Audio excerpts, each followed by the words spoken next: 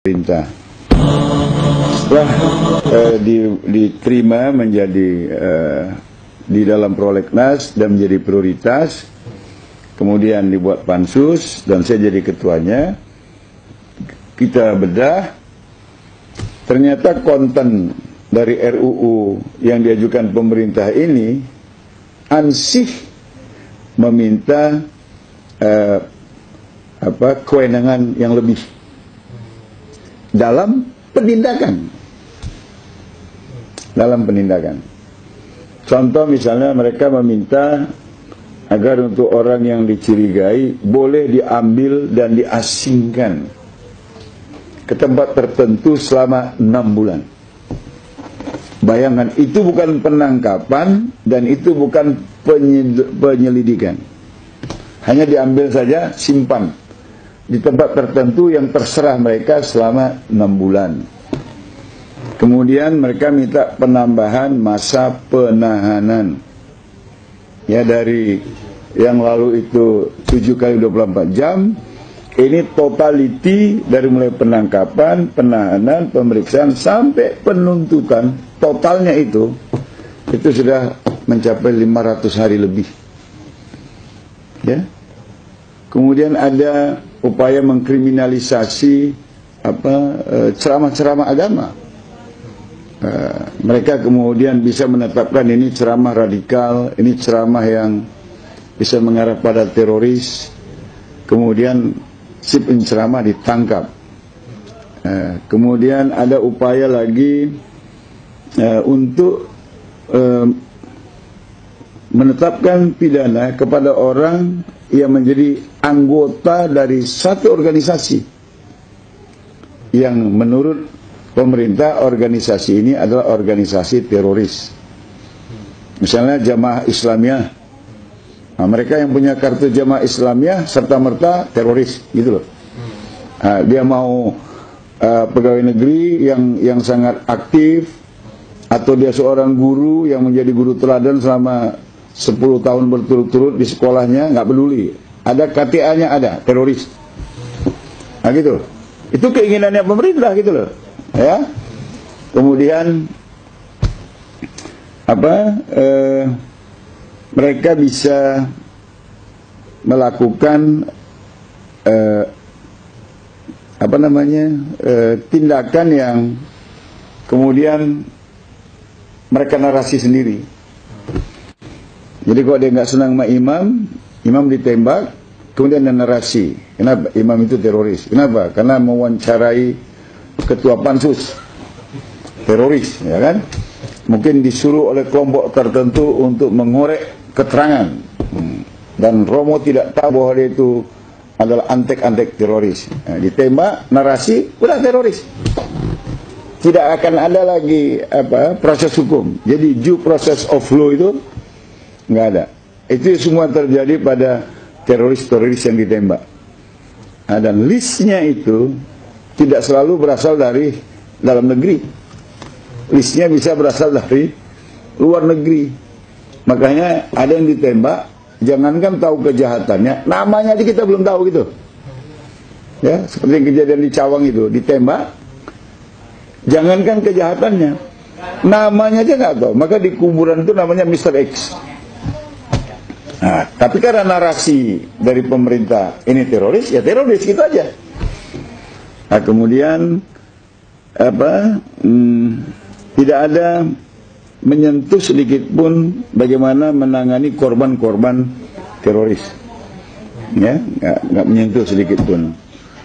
Jadi ini kemudian uh, memprihatinkan dalam RDP dan RDPU kita terasa bahwa Nah, pemerintah ini memberantas teroris itu artinya nembakin gitu loh. Nah, nembakin bukan menghabisi faham terorisme, tapi nembakin teroris, menahan teroris. Nah, ini semacam apa uh, filosofi dari keberhasilan yang mau dibangun itu adalah berapa banyak yang ditangkap, berapa banyak yang ditembak. Nah, makanya kita kemudian e, membangun spirit di di pansus itu spirit pertama undang-undang ini harus dalam rangka penegakan hukum. Undang-undang ini harus dalam rangka menghormati hak ajasi manusia. Dan undang-undang ini harus untuk memberantas terorisme. Nah, dengan tiga spirit ini, kemudian kita mengkelompokkannya menjadi tiga pembahasan, yakni pencegahan. Ya, pencegahan ini diawali dengan memberi definisi apa itu teroris. Jadi jangan sembarangan nyebut teroris. Atau ada yang perbuatannya lebih dahsyat dari teroris malah nggak disebut teroris. Kemudian apa itu tindak pidana teroris? Ya apa itu tindak pidana teroris? Ini harus jelas juga.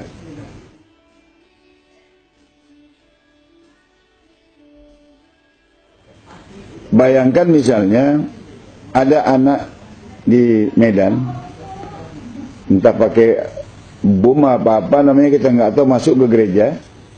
Nah cuman keluar asap aja. Teroris itu. Dan empat tahun setengah. Ya alam sutra bom hancur. Tapi Kristen. Ya nggak teroris gitu loh.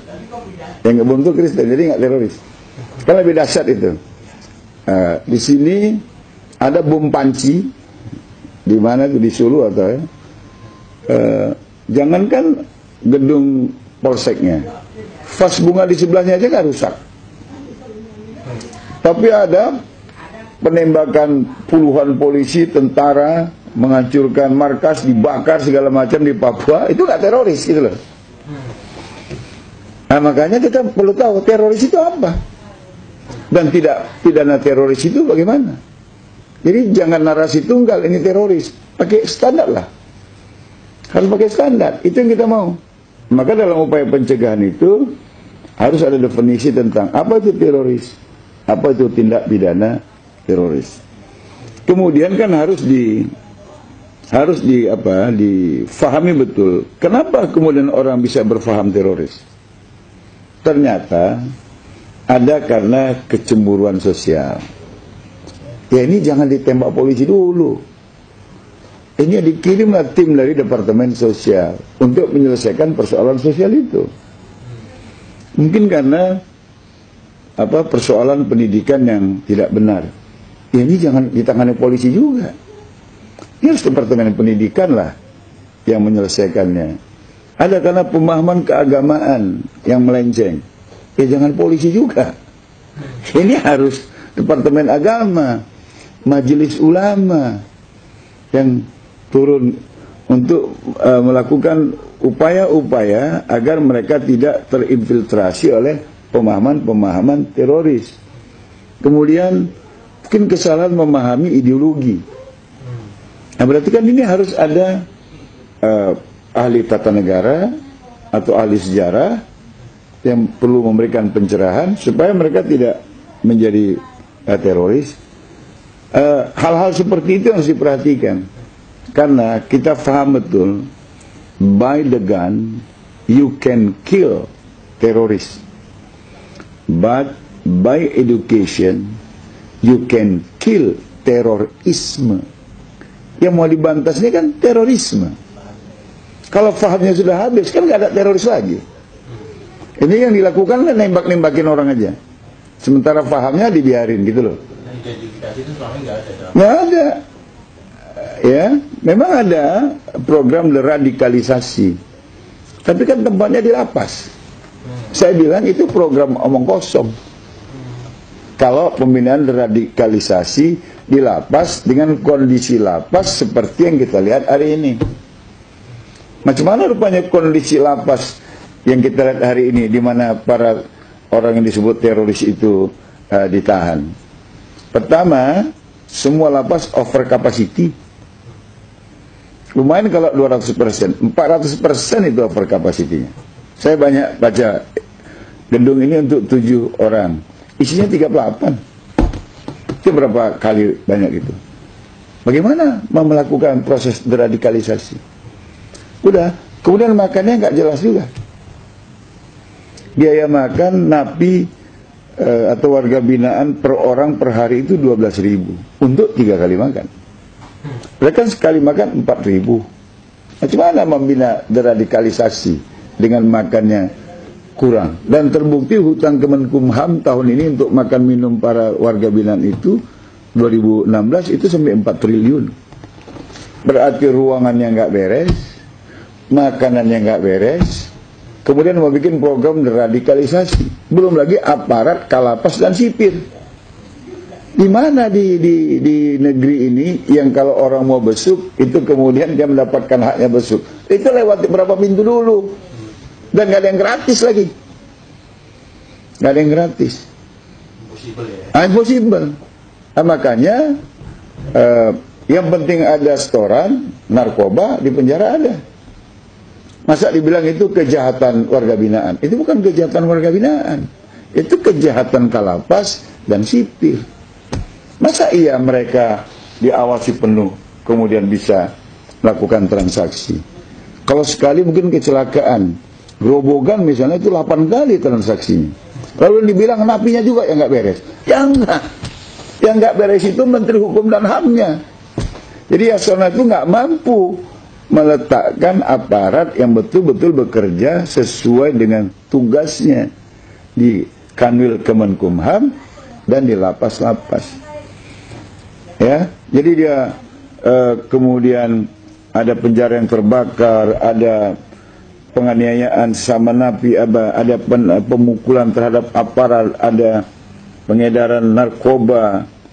Kemudian uh, Yasona Lawlinya merasa berprestasi juga senyum sana senyum sini kan itu nggak benar itu nah karena itu kita fokus juga pada program pencegahan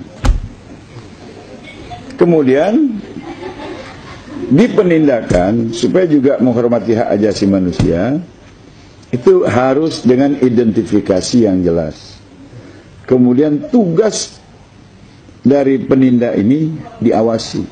Maka di RUU ini akan ada badan pengawas. Ya, badan pengawas ini memang dikomandoi oleh anggota DPR RI lintas komisi. Tapi kemudian badan pengawas ini memiliki kewenangan untuk bekerja sama dengan pihak ketiga. Jadi baik SOP maupun pendanaan, jadi jangan hanya diawasi pendanaan yang mengalir kepada teroris. Pendanaan yang mengalir kepada aparat ini juga harus kita tahu. Karena nggak rahasia umum lagi, ada yayasan teroris di Semarang. Yang dipimpin oleh Pak Dai Bakhtiar itu nggak pernah diperiksa PPATK tidak juga pernah di, diperiksa oleh oleh Komisi 3 dan itu dananya triliunan.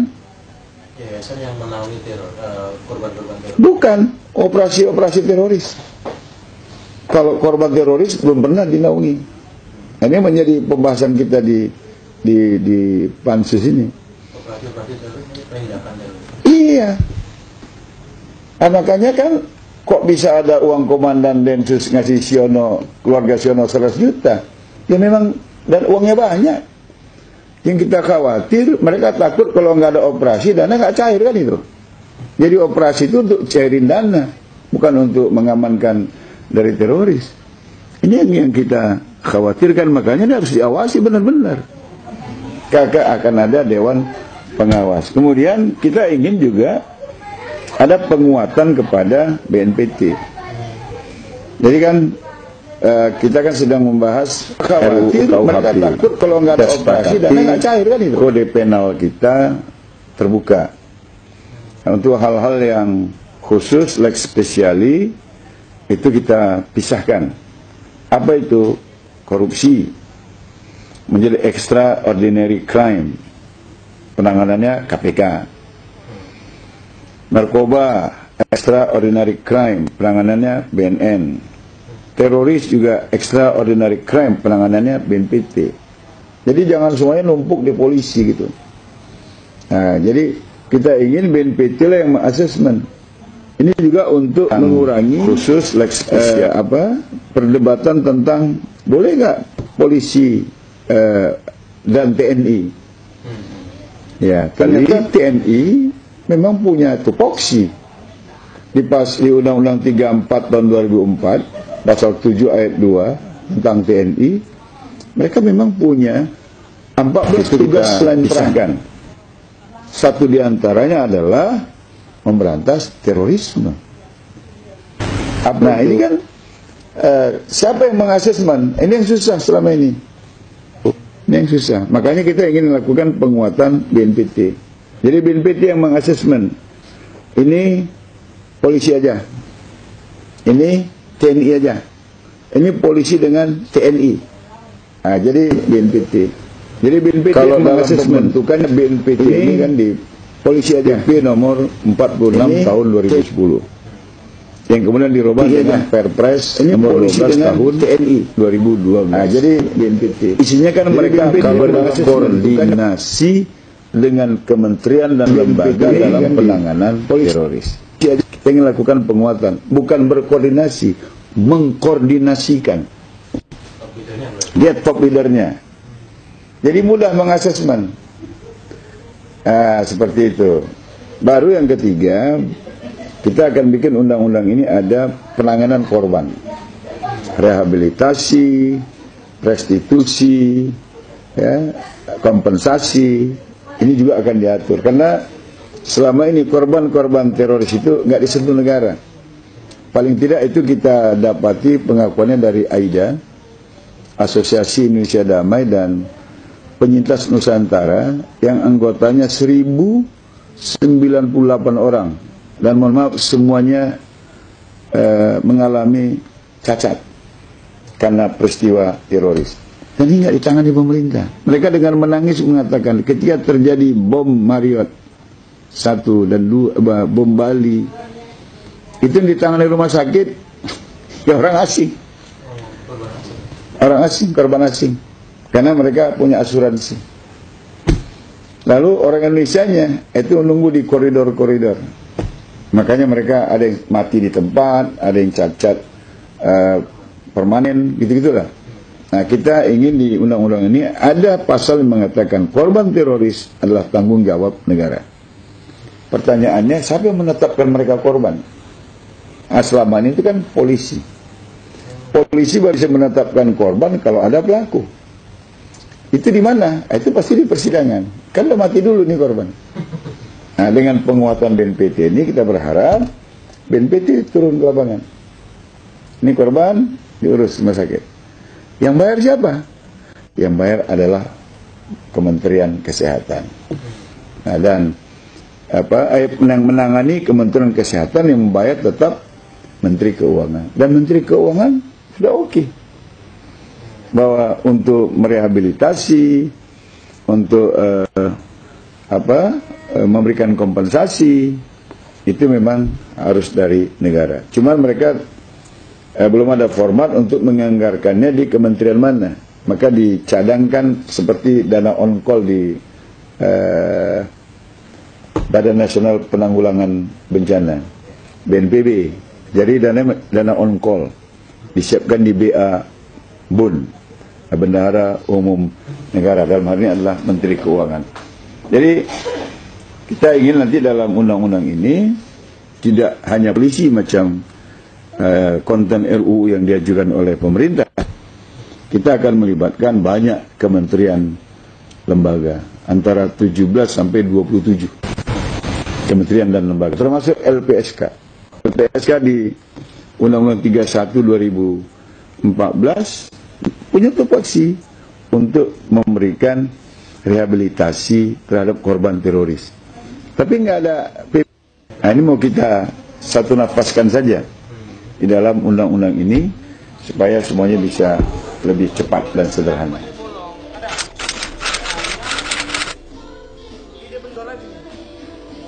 Harga mati yang tidak bisa ditawar dalam semua kebijakan, apalagi penyusunan undang-undang adalah eh, outputnya untuk melindungi segenap bangsa dan seluruh tumpah darah Indonesia. Outcome-nya tentu untuk kesejahteraan bangsa Indonesia. Kan sebenarnya untuk itu. Lalu kalau nembakin, nangkapin, nembakin, masa iya itu melindungi segenap bangsa dan seluruh tumpah darah? Bayangin aja, ada 10 teroris, masing-masing anaknya 5. Ditembak dengan sadis di depan anaknya seperti yang dilakukan selama ini. Sedang sholat pun ditangkap, sedang sholat pun ditembak. Ya toh? Ini membasmi teroris atau sengaja untuk melahirkan teroris beneran? Masa iya anak nggak sayang sama ayahnya? Untuk ayahnya. Bayangin aja, ada perlakukan tidak manusiawi di depannya, kemudian dia sebagai anak, oh bagus gitu, nggak mungkin. Makanya ada ada Jibril, ada Abu Jibril, nanti ada anak Jibril, ada cucu Jibril, reproduksi. Kita kan ini membahas teroris atau sengaja bukan ngeluarin teroris sebenarnya nembakin teroris. Kan udah salah kaprah. Ya? Anak nggak sayang sama ayah, salah kaprah. Ya, mungkin karena aja banyak kali dana itu ada operasi-operasi dan harus ditonton lagi di TV. Oh bagus gitu, nggak mungkin. Yang benar kalau menangani teroris itu ada silent operation. Ada. Kalau ini malah attraction operation. Nanti ada anak Jibril, ada cucu supaya dunia nonton dahsyat. Wah ini pasti soal uang pasti teroris atau sengaja? Pasti soal uang. Kalau bukan soal uang, melakukan satu peristiwa salah kaprah dia teror sama ayah. Salah kaprah. Berarti sudah state terrorism. Nggak benar, ya. Sama ini yang harus kita ubah. Ya, sayangnya kemudian banyak karena arah pembahasan ini operasi dan harus ditonton lagi bagus gitu. Nggak mungkin yang benar kalau menangani teroris ada. silent operation. Sudah 15 kali absen dalam jadwal pembahasan yang sudah disepakati. Sayangnya media mengatakan ini membahas kerja DPR ini nggak sengaja selama membahas bukan soal uang. melakukan satu peristiwa sudah salah kaprah yang anak teror sama berarti sudah bayangkan itu. Nah jadi uh, kita nggak tahu nih pemerintah yang sekarang ini uh, kayaknya untuk melindungi segenap bangsa dan seluruh tumpah darah itu sangat sangat sangat apa sangat minim sekali. Kental yang terasa itu adalah bagaimana mereka mendapatkan dan mengamankan kepentingan dan kebutuhannya. Karena itu yang terjadi hari ini tidak lagi penegakan hukum tapi uh, abuse of power atau arogansi uh, kekuasaan jadi Indonesia sedang diupayakan besar dari Rechtsstaat negara hukum menjadi maksud negara kekuasaan. Dan saya anggap yang kemudian berhasil meredam ini adalah para ulama, para umat Islam dengan aksi-aksi damainya. Sehingga masih ada semacam presur kepada pemerintah untuk tetap menegakkan hukum walaupun terpaksa karena di dalamnya ada kepentingan yang kepentingannya yang harus dikorbankan ya kalau hukum ditegakkan. Tapi itu uh, mereka kemudian tidak berani semena-mena sekali untuk tidak menegakkan hukum karena didesak, karena di demo dan didoakan oleh para ulama dan umat Islam. Kalau nggak ada umat Islam di Republik ini, mungkin negara ini bukan lagi negara hukum.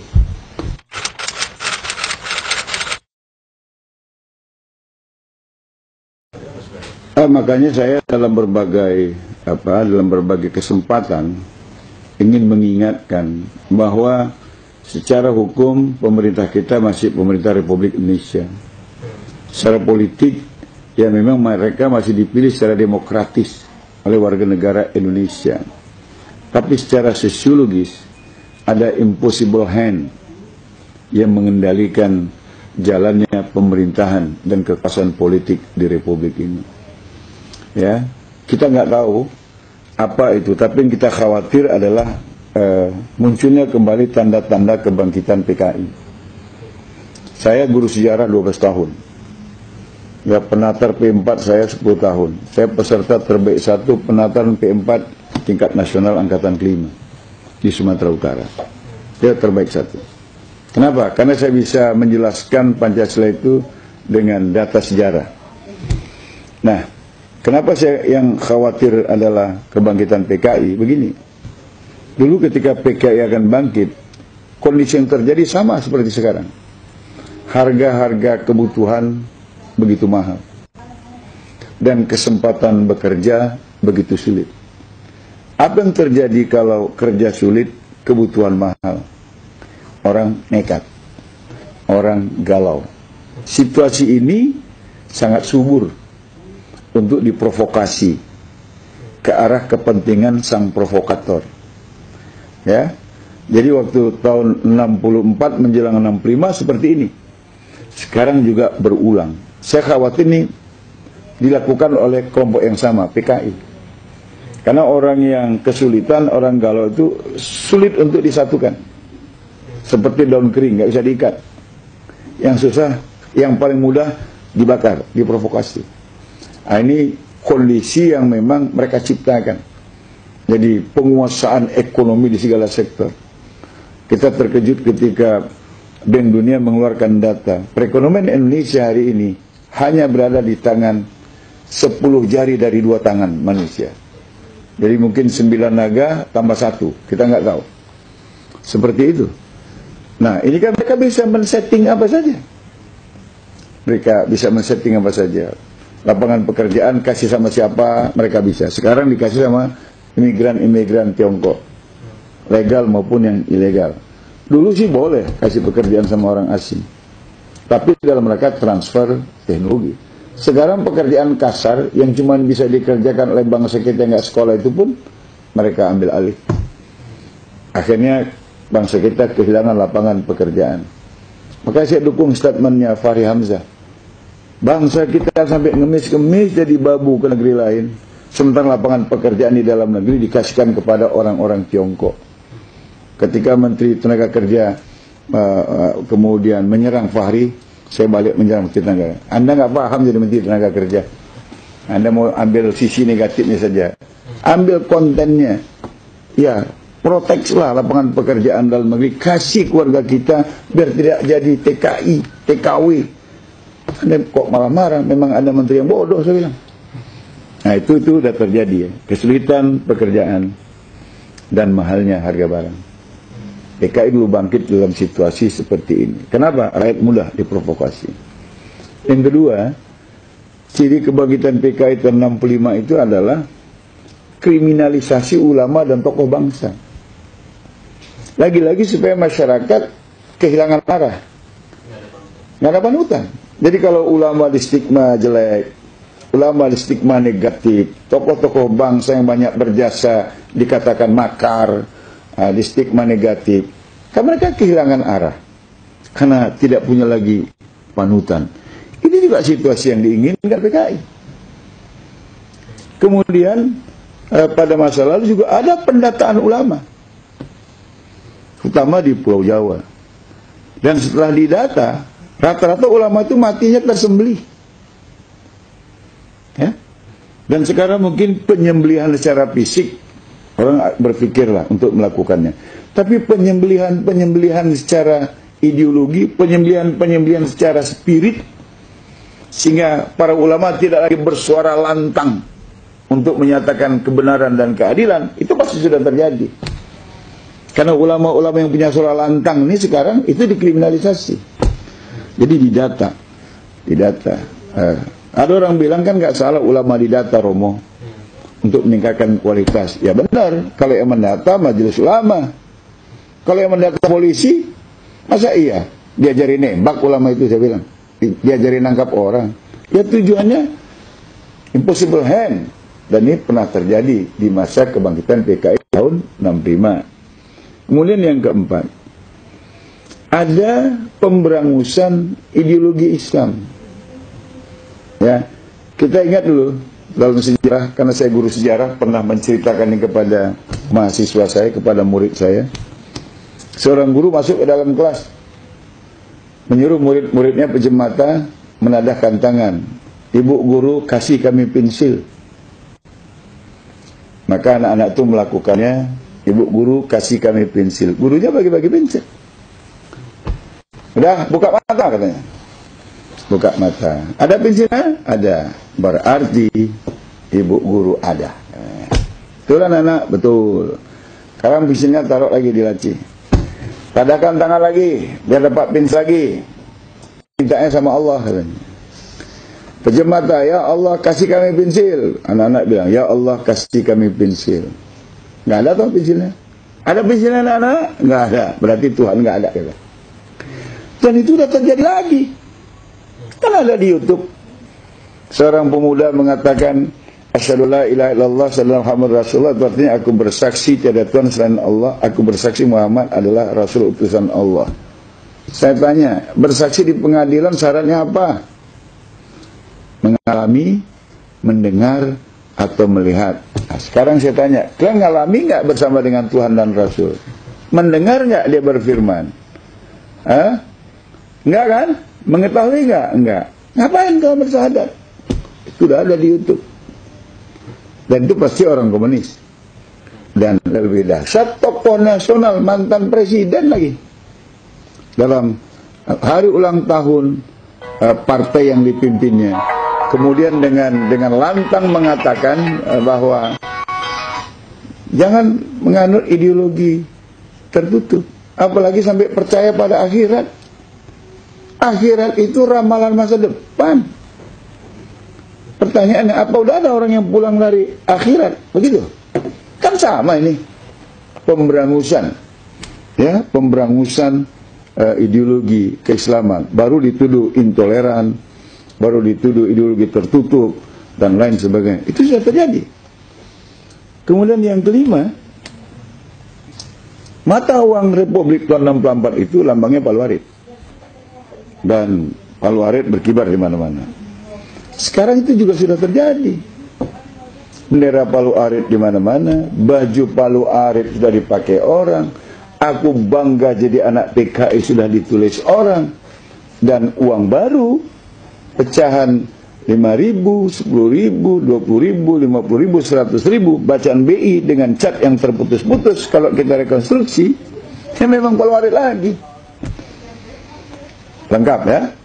Lengkap itu sudah apa hmm, ciri-ciri hmm, kebangkitan PKI. Makanya saya khawatir uh, ada impossible hand. Ya oke, okay, memang pemerintah kita secara hukum masih pemerintah Republik Indonesia. Secara politik dipilih secara demokratis oleh rakyat Indonesia. Tapi kenapa kebijakannya seperti ini? Saya khawatir ada kekuatan lain yang paling saya khawatirkan adalah impossible hand itu adalah PKI karena ciri-cirinya udah sama dengan ciri kebangkitan PKI tahun 65 yang lalu.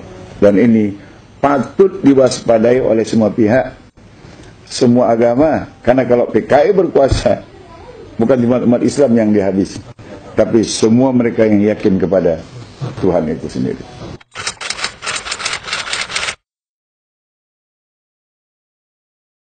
Ya, uh, ya mungkin saya salah ya.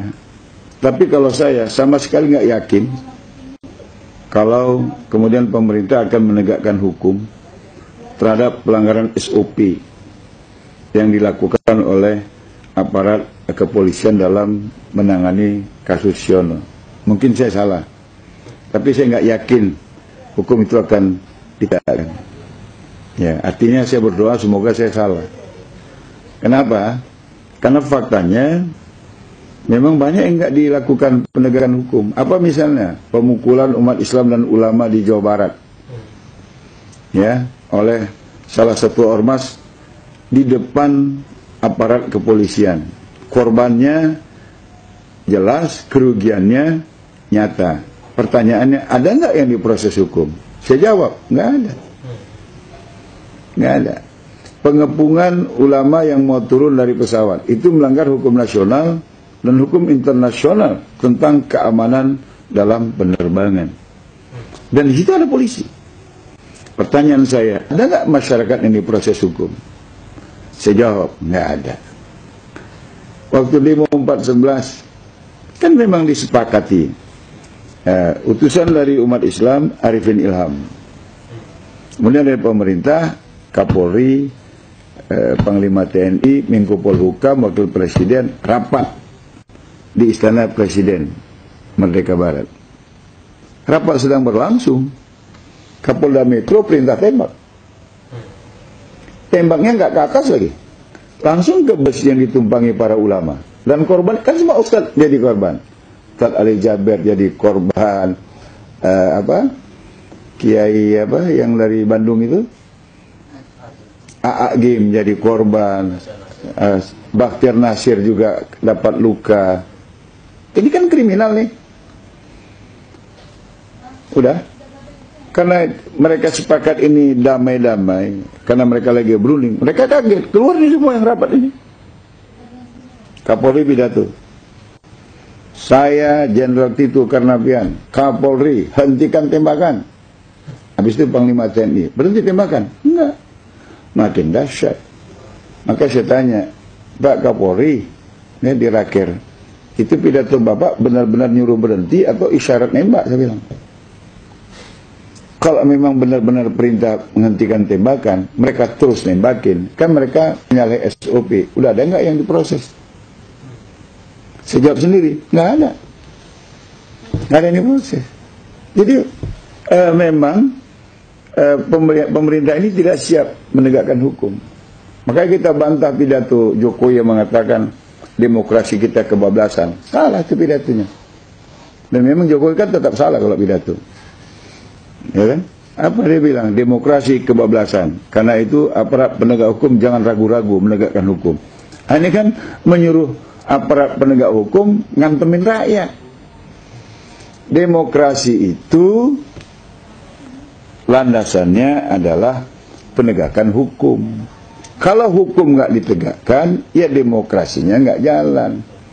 Nah, sekarang yang nggak menegakkan hukum siapa? Ay, memang yang berpenang menegakkan hukum itu pemerintah. Kalau hukum nggak salah siapa? Salah pemerintah. Lalu rakyat ingin hukum itu tegak, pemerintah nggak mau. Ribut. Kemudian dibilang demo- demokrasi kebablasan. Enggak. Pemerintah menggerus dasar-dasar demokrasi dengan cara tidak menegakkan hukum. Di negara hukum, kejahatan yang paling besar itu adalah tidak menegakkan hukum. Dalam hal ini, pemerintah sudah melakukan kejahatan yang besar karena tidak menegakkan hukum. Lalu jangan bilang demokrasinya kebablasan kalau rakyat nuntut hukum ditegakkan. Lalu hukum tidak ditegakkan, rakyat nuntut, presiden malah bilang jangan ragu-ragu. Maksudnya tembakin aja gitu. Ini kan memang ya impossible hand lah menurut saya. Ada pesan-pesan yang tidak nyata, tapi itu yang menjadi guidance dari pelaksanaan kebijakan pemerintah akhir-akhir ini.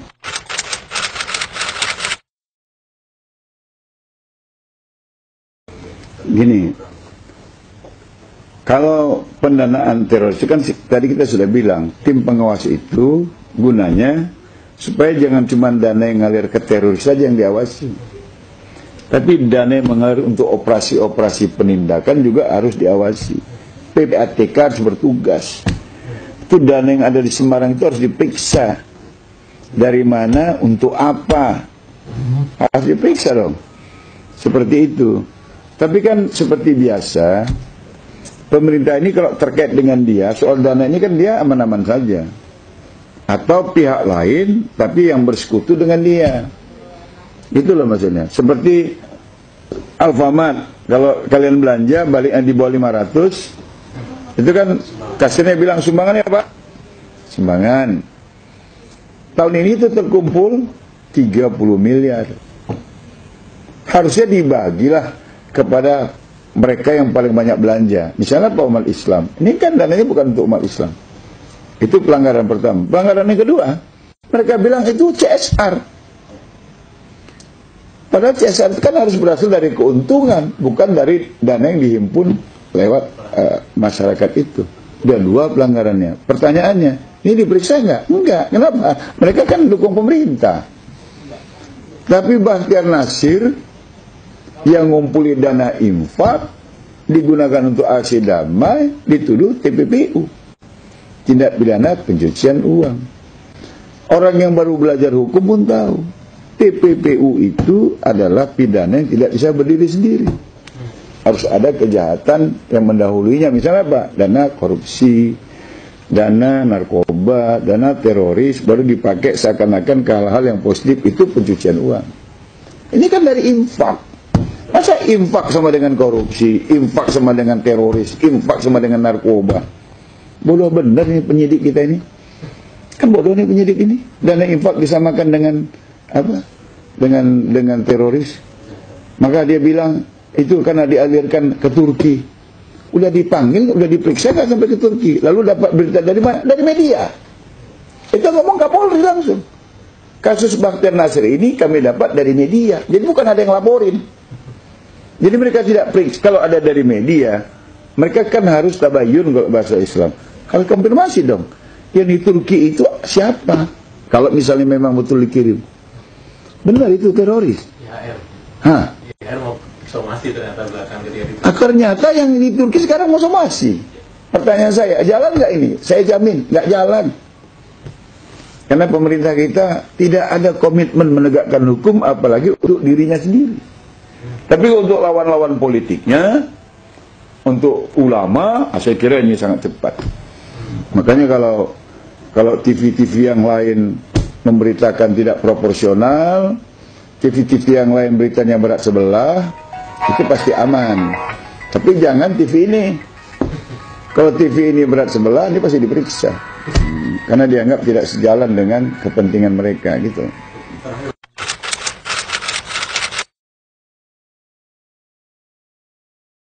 Pertama, eh, kalau revisi Undang-Undang Dasar itu kan ya pasti pengawas lah yang harus berkomitmen. Hmm, Kalau pengawasnya juga pemerintah ya sama aja. Makanya kita tidak mau pengawas internal BNPT, tapi pengawas eksternal. Ya, pengawas eksternal. Walaupun efektivitasnya tidak ditentukan oleh seberapa kuat eh, mekanisme kerja pengawas itu, tapi kan lebih ditentukan seberapa komit eh, orang yang duduk di dalam lembaga pengawasan itu. Itu kalau tentang teroris. Tapi kalau secara umum untuk republik ini, dengan pemerintah yang ada sekarang, saya sama sekali tidak berharap lagi. Makanya kita hati-hati saja jangan melanggar hukum. Karena hukumannya pasti berat. Karena nggak sengaja pun itu dicari-cari, apalagi jelas-jelas melanggar hukum.